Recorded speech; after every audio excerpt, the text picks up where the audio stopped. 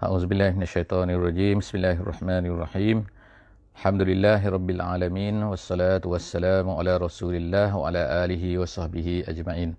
Alhamdulillah bersyukur pada Allah Subhanahu wa taala pagi ini kita dapat bersama-sama lagi. Alhamdulillah dalam sesi tadabbur harian. Uh, hari ini kita insya-Allah kita akan bersama-sama di muka surat yang ke-24 hari ini uh, iaitu kita akan uh, bersama-sama mentadabbur daripada surah Al-Baqarah ayat 154 sehingga ayat 163. 154 sehingga ayat 163 daripada surah Al-Baqarah insya-Allah. Uh, hari ini insya-Allah kita uh, kita akan tengok uh, beberapa perkara lagi uh, iaitu berkenaan dengan uh, apa-apa yang dikatakan uh, oleh orang-orang musyrik ataupun orang-orang yang mengatakan bahawa perkara uh, kenyataan-kenyataan eh, yang kemudian Allah Subhanahu Wa Taala uh, nak ceritakan kepada orang-orang yang beriman ni beberapa hakikat-hakikat eh yang tertentu. Ha, jadi insya-Allah dan juga sedikit perkara yang berkenaan dengan perkara-perkara yang berkenaan dengan yang dilakukan oleh orang-orang kafir musyrik sebelum daripada Islam dan kemudian uh, orang-orang Islam ni merasa uh, tidak selesa untuk melakukan perkara-perkara tersebut eh tetapi ianya dijelaskan oleh Allah Subhanahu Wa Taala bahawa perkara tersebut adalah uh, tidak menjadi masalah uh, bagi mereka untuk melakukannya as long as bukanlah mereka ini mengikut apa yang dilakukan oleh orang-orang musyrik. Uh, jadi insya-Allah kita akan baca daripada uh, ayat 154 insya-Allah. A'udzubillahi minasyaitonirrajim. Bismillahirrahmanirrahim. الله الرحمن الرحيم ولا تقولوا لمن يقتل في سبيل الله أموات بل أحياء Alhamdulillah. Kita akan tengok ayat yang pertama ni berkenaan dengan uh, apabila uh, adanya eh apabila adanya iaitu mengenai dengan uh, kita boleh katakan seperti sebab nuzul eh. Uh, apabila ada orang-orang yang mengatakan bahawa orang-orang yang mati syahid di jalan Allah Subhanahu Wa Taala ini uh, adalah mati. Uh, jadi mereka ni seolah-olah mereka dah tak adalah uh, hum amwat kata mereka. Mereka ni dah mati kan. Ha, jadi Allah Subhanahu Wa Taala uh, telah menyebutkan uh, tentang perkara ini bahawa sebenarnya apa yang mereka sangka ataupun jika sekiranya lah kita menyangka orang yang mati syahid itu mati tapi sebenarnya Allah Taala menyebutkan bahawa sebenarnya mereka ini tidak mati ha, bahkan mereka ini Allah Taala kata adalah hidup. Bal ahya. Mereka ini adalah orang hidup. Sama seperti orang hidup diberi rezeki oleh Allah Subhanahu Wa Taala. Ha, sebagaimana kita ni yang hidup ni yang bergerak ni, yang ada nyawa ni, kita ni, kita kata ada ada roh lah kan, ada dapat rezeki, sebab itulah kita ni uh, masih hidup. Tapi apabila kita dah tak ada rezeki, maka kita dipanggil sebagai orang mati. Tetapi Allah Subhanahu Wa Taala sebutkan bahawa sebenarnya orang-orang yang mati syahid ni mereka juga sebenarnya mendapat rezeki. Ha, jadi Allah Subhanahu Taala sebut sini jangan kamu katakan Ha, jadi sebab itulah bila kita lihat orang syahid kan, dia syahid, dia syahid, kita kata dia syahid. Kalau kita sebut dia mati syahid, ha, kalau ikut perkataannya tak betul sikit lah. Sebab mereka tu bukan ambuat. Kita ni seolah-olah bila kita kata dia mati syahid, ha, seolahnya dia kita ni bertentangan lah dengan apa yang disebutkan oleh Nabi Allah oleh Allah Subhanahu Wa Taala. Sebenarnya mereka ni adalah hidup ni. Ha, jadi ada satu hadis Nabi yang berkenaan dengan uh, perkara ini. Uh, iaitu Nabi menyebutkan saya sebutkan dari segi pengertiannya sajalah kan iaitu ruh-ruh orang-orang yang mati ini ni mereka sebenarnya berada di dalam uh, perut. Ha, kita kata perut macam bukan perut juga macam uh, burung tu. Jadi burung tu ada depan dia tu kan. Uh, jadi burung tu warna hijau mereka ni berterbangan uh, di dalam syurga disebutkan oleh oleh Nabi sallallahu alaihi wasallam. Nah, jadi bila mereka mati saja maka ruh mereka tu masuk situ lalu makna berada berada di syurga. Masya-Allah kan.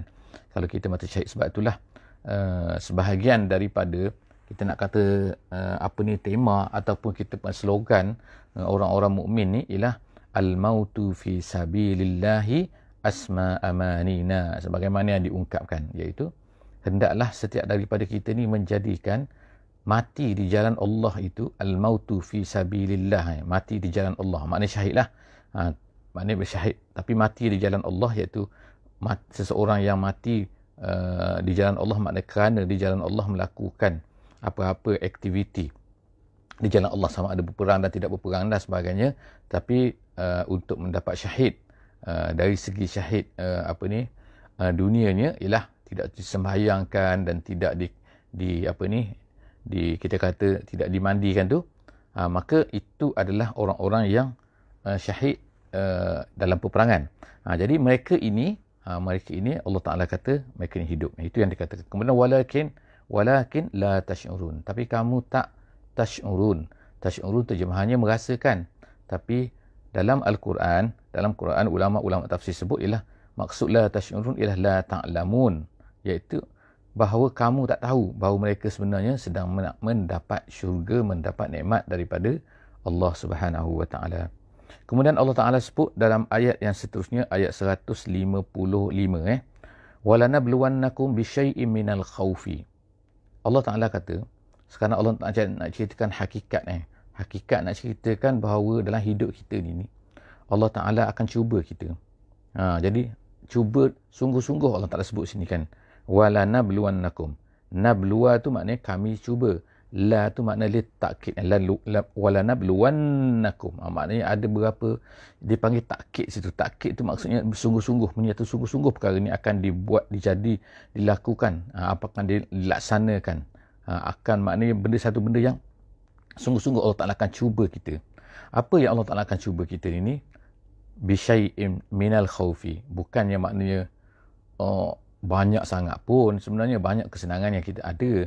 Sebab itulah disebut bisyai'in minal khaufi ha, sikit saja kan daripada daripada apa? Yang pertama sekali ketakutan. Ketakutan ini ialah ketakutan daripada musuh lah. Uh, dalam tafsir jalan lain sebut minal khaufi maknanya khauf minal adu. Takut daripada musuh. Wal ju' uh, kemudian tu ketiadaan kelaparan kelaparan ni disebabkan oleh makanan yang kurang dan sebagainya disebabkan oleh kemarau. Ha, kalau ikut tafsirnya dia kata kemarau. Kemarau kerana apa? Dari segi kebiasaannya dulu maknanya apabila kemarau ni berlaku maknanya makanan tu kurang eh.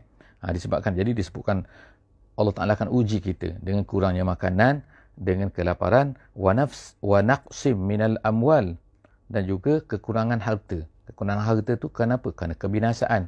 Ha, kerana terbakar ke kerana kemalangan ke kerana macam-macam lah. Ha, Allah Ta'ala kata ha, iaitu itu ujian Allah Subhanahu Wa Ta'ala. Kemudian wal anfusi kurang dalam uh, anfus. Anfus tu maknanya ialah jiwa. Tapi maksud sini ialah apa? Dengan terbunuh ke dengan apa lagi? Dengan mati ke uh, dengan apa lagi? Uh, dengan amrat ke uh, disebut sini. Uh, tiga perkara disebutkan dalam tafsir. Iaitu al-qatli wal mauti wal amrat amrat tu makna penyakit. Uh, macam kita tengok sekarang kan kita ada corona jadi ramai orang mati kerana corona ni. Ha, jadi mati kerana penyakit itu adalah sebahagian daripada ujian daripada Allah Subhanahu Wa Taala sebagaimana yang kita baca sekarang kan dalam dalam uh, ayat ini. Seterusnya Allah Taala sebut lagi uh, was samarat uh, ke, ke, kekurangan dari dari sudut samarat eh. Uh, kekurangan dari sudut samarat maknanya iaitu uh, buah-buah kurang. Ha, kadang-kadang kita, eh buah ni banyak. Kadang-kadang buah ni kurang. Ha, itu kata buah tak menjadi ke, ataupun serangan serangga ke, ha, macam-macam itu. Ha, itu ulama sebut tu. Eh. Ha, kemudian Allah Ta'ala kata apa sini? Tapi, wabashiris sobirin. Berilah khabar gembira kepada orang-orang yang sabar. Jadi apa kaitan? Tadi itu walana beluan. Kemudian wasobirin. Ertinya ialah apa? Ertinya ialah mereka ini bila dapat kekurangan kekurangan ini bila mereka dapat masalah-masalah ini diuji oleh Allah Subhanahu Wa Taala masalah kelaparan masalah ketakutan daripada musuh masalah uh, apa ni kebinasaan masalah kematian masalah penyakit masalah uh, macam-macam tadi tu uh, maka tiba-tiba mereka pun sabar. Jadi bila mereka sabar Allah Taala kata sini wabashiri as-sabirin iaitu kalau mereka sabar mereka akan dapat pahala daripada Allah Subhanahu Wa Taala dengan apa-apa yang berlaku tadi tu tapi kalau mereka tak sabar, mereka merungut-rungut ke, mereka menyumpah-nyumpah ke, mereka kata macam ni, macam ni ke, apalah, matilah aku, gini, menangis-nangis semua kan, kerana berlaku-berlaku perkara-perkara itu. Maka itu mereka tak sabar. Jadi bila mereka tak sabar, mereka tak dapat pahala daripada Allah. Sedangkan itu semua adalah Allah Ta'ala nak uji kita sebenarnya. Eh? Okay. Seterusnya, ayat 156. Allazina iza asabathum musibah. Allah Ta'ala sebut lagi kan sini kan. Sambung lagi tu as-sabirin dia berhenti pada ayat 155 kemudian dia kata allazina iza asabatuhum musibah Allazi sini ialah maksudnya mereka yang sabar tu bagaimana? Ha, seolah-olahnya macam pertanyaan kan. Sabar. Oh sabar yang tadi-tadi tadi tu. Tapi sabar ni macam mana lah? Ha, Allah Ta'ala pun sebut. Sabar ni iaitu orang-orang yang iza asabatuhum musibah apabila mereka ni terkena musibah. Ha, musibah ni apa? Ha, musibah ni maknanya ialah yang tadilah kan. Ujian-ujian tu tu. Yang dikenakan. Al-bala' tadi tu. Al-bala' tu uh, ujian lah. Maksudnya kan al-bala walana bluwannakum al-bala. Al-bala tu makna ujian daripada Allah.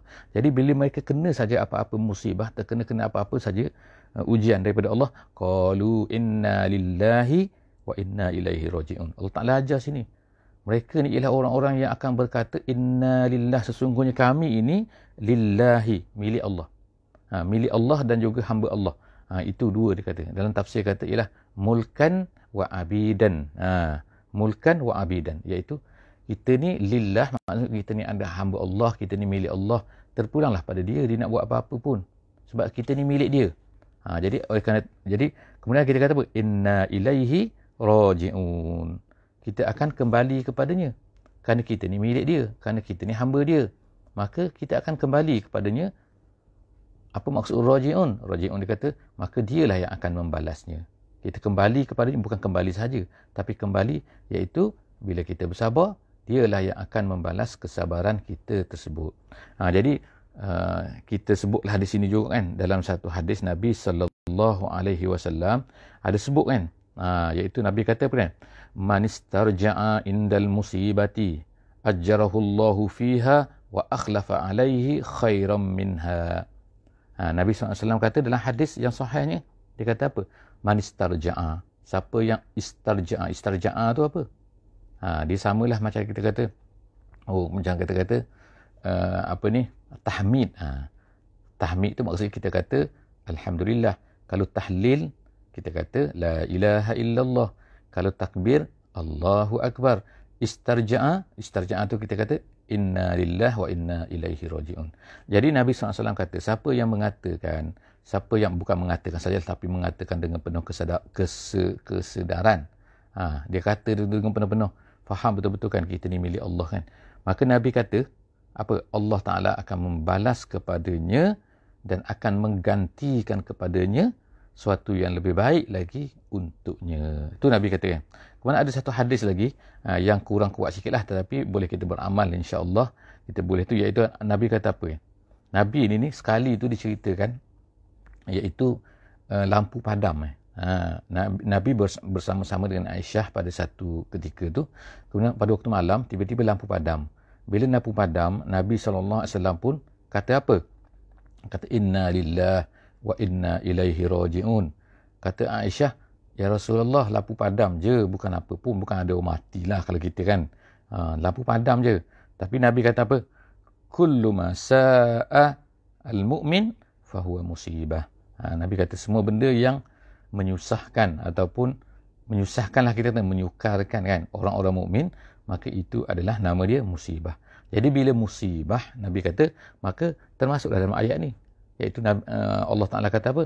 Allazina iza asabathum musibah bila dia terkena sesuatu musibah maka dia akan berkata inna lillah wa inna ilaihi rajiun. Jadi kita selepas ni insya-Allah kan ha, bila kita berlaku jadi apa-apa kan Ha, lampu padam pun sebab itulah uh, saya ingat lagi kan kalau orang orang Arab ni kalau black out ke semua akan ramai-ramai bunyi satu masjid tu inna lillah wa inna ilaihi rajiun. Rupanya bila kita tengok hadis ni, oh barulah kita faham mereka beramal dengan apa yang dibuat yang dilakukan oleh baginda Nabi sallallahu alaihi wasallam. Jadi apa-apa sajalah kan peristiwa-peristiwa yang kita rasa macam eh itu kan maka itu adalah merupakan musibah. Kemudian lagi ayat 157 eh. Ulaika alaihim salawatum mir rabbihim wa rahmah wa ulaika humul muhtadun.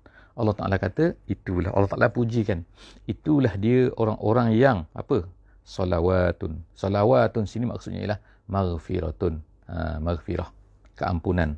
Mereka itulah orang-orang yang mendapat keampunan daripada Tuhannya dan juga mendapat rahmat. Mana rahmat sini adalah maksudnya nikmat daripada Allah Taala. Ha, jadi orang itulah orang-orang yang akan mendapat maghfirah keampunan dan mendapat nikmat syurga daripada Allah Subhanahu Wa Taala dan mereka itulah juga orang-orang yang muhtadun. Kemudian seterusnya ayat 158 eh. Kita tengok sekarang kita masuklah kalau ikut dalam uh, mushafnya dia akan tanda situ ini adalah masuk dalam hizib baru eh.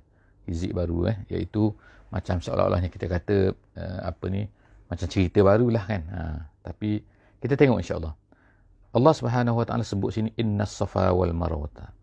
Innas safa wal marwata. Safa dan juga marwah ni ialah yang berada di tepi Kaabah tu kan ha, iaitu Bukit Sofa bukan bukit besar lah tapi ada bukit kecil saja nama dia Bukit Sofa. Dan di sebelah sana yang jauh sikit nama dia Bukit Marwah.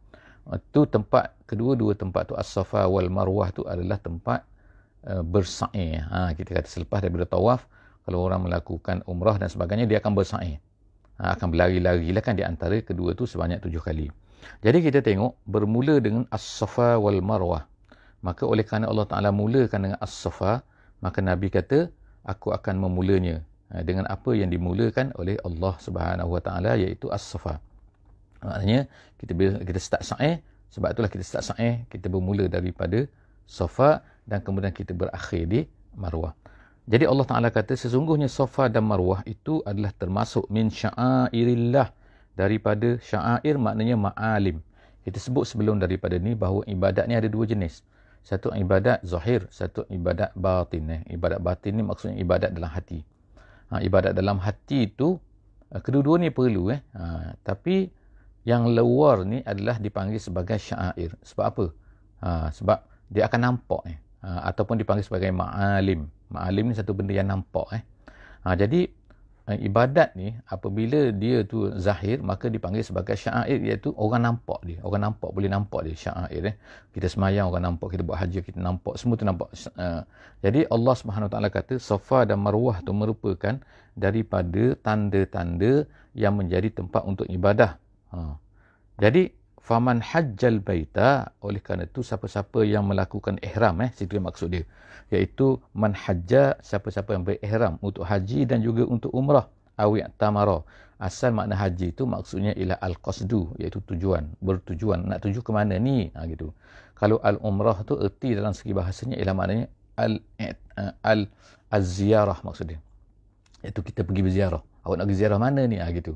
Jadi awak nak menuju ke mana ni? Ha, jadi al-haji wal umrah. Itu asal maknalah perkataannya jadi Allah SWT kata siapa yang berihram untuk melakukan haji dan juga umrah fala junaha alaihi maka tidak mengapa. Tidak junah tu maknanya tidak ada dosa makna dia. Junah tu maknanya ismun maknanya dosa. Tak menjadi dosa alaihi an yatawafa bihima untuk mereka ni bertawaf ha, tawaf ni Tawaf ni maksud apa sebenarnya? Tawaf ni tidak semestinya bulatan. Ha, tawaf ni apabila seseorang itu ha, bergerak daripada satu tempat ke satu tempat secara berulang-ulang. Eh? Ha, secara berulang-ulang makna berkali-kali. Bukan sekali saja. Berkali, berkali, berkali. Ulang ke sana, ulang ke sini, ulang ke sini. Ha, itu nama dia tawaf. Ha, tak semestinya bulatan. Ha, itu makna perkataan dalam bahasa Arab tawaf tu. Jadi, at-tawafa tu, at-tawafa tu ialah asalnya adalah ada tak situ. Ya ha, ya tatawaf gitu eh. Tapi uh, dia bertukar oleh kerana itu berat eh. Menjadi uh, ditukarkan dalam bahasa Arab jadi sebutan dia ya tawafa jadi Allah Subhanahu taala kata sini maka kalau kalaulah apa ni orang haji dan umrah kalau dia dah buat haji dia berihram haji dan berihram umrah maka tidak mengapa dia itu tawaf ha, itu berulang alik lah di antara Safa dan juga Marwah bihima wa man tatawwa khairan fa innallaha syakirun alim. Ha jadi daripada ayat ini nak menunjukkan apa? Iaitu tidak mengapa. Kerana apa ayat ini turun? Kerana selepas daripada habisnya orang-orang kafir semua ni orang kafir dah tak dibenarkan buat haji lagi. Jadi ada setengah-setengah sahabat ni bila mereka ni nak buat haji, nak buat umrah, jadi mereka ni merasai ragu-ragu. Ragu-ragu untuk bersa'i di antara Safa dan Marwah. Kerana apa? Kerana dulu di zaman jahiliah, di zaman orang musyrik dulu, mereka ni meletakkan berhala. Satu berhala di sofa, satu berhala di marwah. Jadi berhala satu sofa, berhala satu marwah, mereka ni berulang alik. Bila sampai ke berhala ni, mereka pun sentuh berhala ni. Sampai ke berhala ni, mereka sentuh berhala ni. Jadi ulang alik, ulang alik macam tu. Ha, jadi bila sampai dah habis dah, maknanya tak benarkan lagi lah orang-orang kafir ni untuk ni, dah dijatuhkan berhala-berhala semua. Orang-orang Islam ni masih terasa macam, ish, tak best lah kita ni, ni nak macam nak apa ni nak ber, bersa'i ni kenapa seolah macam perbuatan orang-orang uh, musyrik dulu kan. Ha, jadi akhirnya Allah Ta'ala pun turunlah ayat ni. Tak mengapa tak mengapa sebab apa? Ini syairillah ha, tapi cuma yang diletakkan di, dibuat jahat oleh orang-orang musyrik mereka letak patung tu masalah mereka kan. Itu kesalahan mereka. Tapi yang ni tetap juga mereka dia ni adalah Safa Marwah ni adalah merupakan syairillah jadi tak mengapa. Ha, gitu ha, jadi daripada uh, itu di sini ialah Uh, maka kita ambil daripada hadis Nabi sallallahu alaihi wasallam. Walaupun ada salah faham di sini even di kalangan para sahabat ni. Para sahabat sendiri ada yang mengatakan oh kalau macam tu kalau tak mengapa ertinya ialah maknanya apa? Ha, seperti seorang sahabat tu bernama Urwah bin Az-Zubair. Urwah bin Zubair ni dia kata oh tak tak uh, tak tak perlulah makna saya ni. Ha, bukannya wajib haji. Ha, sedangkan dalam mazhab semua kebanyakan ulama kata dia adalah rukun eh rukun haji ni Ha, maknanya kalau buat haji, kalau buat umrah, kalau tak buat sa'i ni, tak jadi. Sebab dia rukun eh. Ha, tapi zaman dulu tu, mula-mula adalah orang salah faham eh. Ha, mengatakan bahawa, oh, oh tak mengapa lah, maknanya sunat sajalah. Sebab apa tak mengapa Allah Ta'ala kata. Tak mengapa maknanya nak buat boleh, tak nak buat boleh. Ha, tapi Aisyah radhiyallahu anha uh, bila berjumpa dengan orang-orang ni, dia kata, hei itu salah faham tu. Kalaulah Allah Ta'ala kata, boleh tak tak apa ni tak sahih mesti Allah Taala akan berkata oh tidak mengapa kamu ni tidak bersahih kalau macam tu. Tapi Allah Taala mengatakan sini bukan mengata Allah Taala tidak mengapa tidak bersahih tapi Allah Taala mengatakan tidak mengapa kamu bersahih ha gitu. Jadi faham tu eh maksudnya tu. Ha, cuba fahamlah eh. Ha, jadi selepas daripada tu maka Allah Taala kata wa man tatawwa khairan. Siapa-siapa yang nak berbuat lebih. Ha buat lebih untuk kebaikan maknanya buat sunat sini. Siapa nak buat sunat maka dia tu adalah fa innallaha syakirun alim. Jadi sunat sini apa kan? Nak buat sunat apa? Sunat tawaf. Eh, siapa nak bertawaf saja, maknanya dia nak pergi tawaf saja kan? Bukan kerana haji bukan kerana umrah. Ha, itu tak mengapa. Itu makna Allah Taala kata bagus. Ha, jadi adalah situ dipanggil sunat tawaf. Jadi orang bagi orang yang berada di Baitullahil Haram ni maka dia boleh sunat tawaf kan kita tak adalah kan kita ni kalau kita nak buat kita sembahyang sunat lah jadi orang nak masuk ke Baitullahil Haram ni, dia boleh masuk-masuk, dia pun tawaf. Tawaf dia tu lah seperti seperti tahiyatul masjid lah. Ha, gitu ya. Innal ladzina yaktumuna ma anzalna minal bayyinati wal huda. Seterusnya Allah Taala berkata, iaitu Allah Taala mencela di sini, mencela orang-orang Yahudi. Orang Yahudi ni apa perangai dia? Perangai mereka ni apa? Perangai mereka ni menyembunyikan apa yang ada di dalam kitab mereka. Ha, iaitu apa? Allah Ta'ala kata, sesungguhnya orang-orang yang menyembunyikan apa yang kami turunkan. Minal bayinat wal huda. Bayinat wal huda situ ialah, uh, lama tafsir kata, petunjuk dan juga bayinat, penjelasan-penjelasan. Penjelasan apa? Yang pertama sebagai contohnya, sifat-sifat Nabi disebutkan dalam Taurat. Yang keduanya, sebagaimana yang masyurnya ialah tentang ayat-ayat rejam orang Yahudi yang berzina mereka akan direjam. Ada tersebutkan disebutkan di dalam kitab Taurat.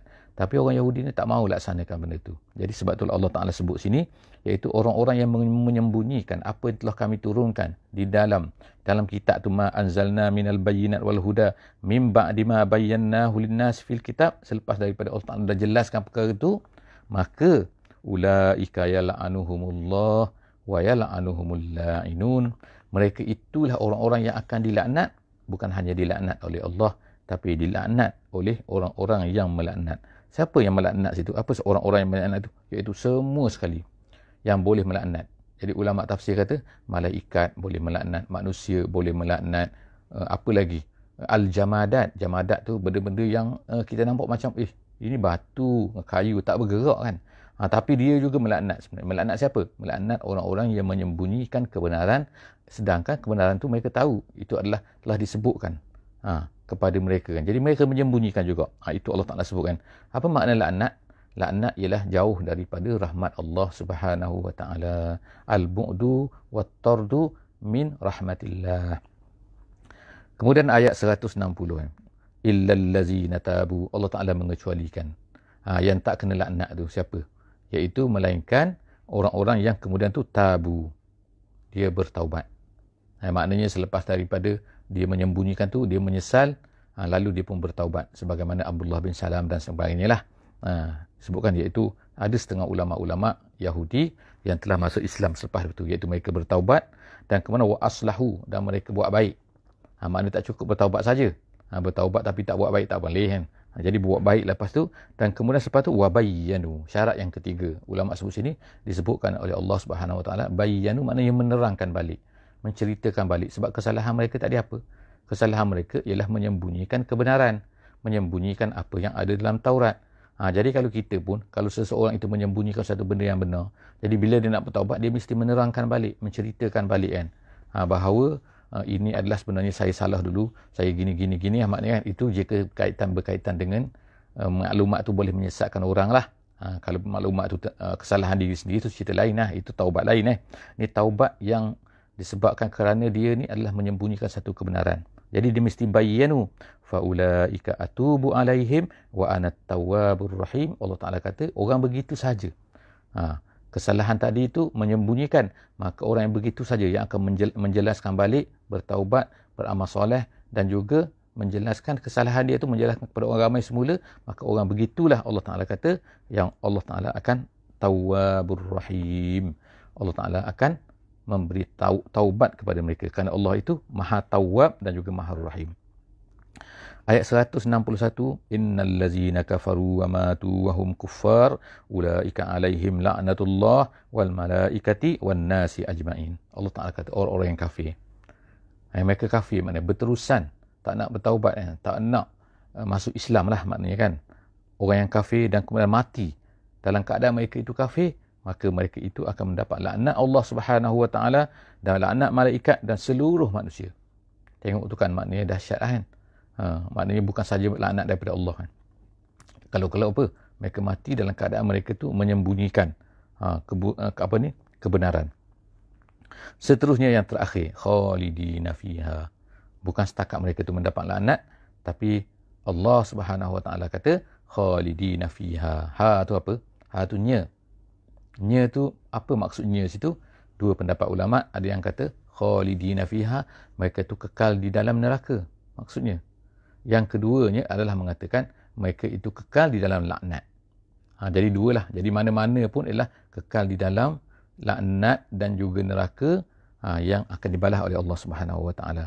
La yukhaffafu an umul la yukhaffafu anhumul azab mereka ni tidak akan direngankan sedikit pun. Maknanya orang yang masuk neraka ni tak adalah diberi chance kata orang yang sikit lah. Hari ni hari hari apa kan. Ha, hari sempena hari ni maka direngankan sikit. Tak ada. Ni bukan penjara dunia eh. Ha, penjara dunia ni boleh bebas, boleh apa benda sikit kan. Boleh rehat sikit dan sebagainya. Tak ada. Ni di akhirat ni Allah Ta'ala kata tak ada. Ini adalah la yukhaffafu. Mereka tidak direngankan. An, anhumul azab. Daripada mereka azab. Walahum yunzurun dan mereka itu juga tidak akan diberi. Diberi apa? Diberi tangguh ke diberi relax ke diberi ha itu eh yunzarun tu maknanya kalau ikut asalnya maknanya iaitu diberi apa? Yumahhalun ha yumahhalun diberi tangguh lah untuk apa? Untuk bertaubat ke untuk minta maaf ke tak ada tak ada can dah kan. Ha ya. Wal kita semua daripada uh, keadaan tersebut. Seterusnya ayat yang terakhir ayat terakhir ayat 163 eh pada hari ini. Wa ilahukum ilahu wahid la ilaha illa huwar rahmanur rahim. Ha, jadi uh, ada ulama mengatakan bahawa sebab nuzul kepada ayat ni ialah uh, apabila orang-orang musyrik orang-orang kafir ni mengatakan kepada Nabi sallallahu alaihi wasallam apa dia kata? Dia kata Muhammad tolong cerita sikit eh, Tuhan kamu ni macam mana sebenarnya?